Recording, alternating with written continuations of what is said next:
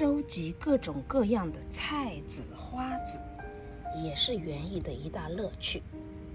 今天呢，我采收了五种花的籽，咱们看看啊，这个呢是楼斗花，这个呢就是非常优雅的那个，呃，醉仙温草的花。这个呢，就是大家很熟悉的袋袋花。这个呢，是一种叫麦仙温的草，四月份开放的，非常非常优雅的。这个呢，就是非常常见的石竹花的籽。我呢，再把前两天收的菜籽展示一下。这是香菜籽、大葱、菠菜。